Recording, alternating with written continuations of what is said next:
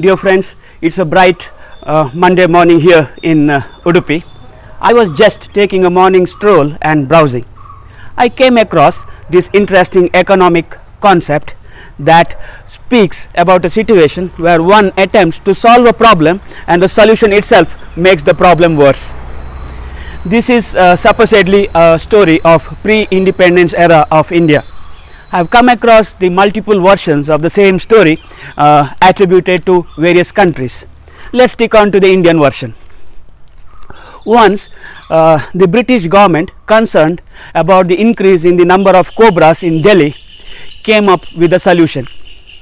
It offered price for every dead cobra. The government was initially successful in getting a large number of cobras killed. Now the enterprising Indians got into action.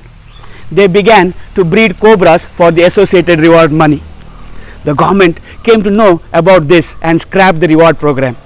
This resulted in cobra breeders setting now the worthless cobras free, further increasing the wild cobra population to all time high.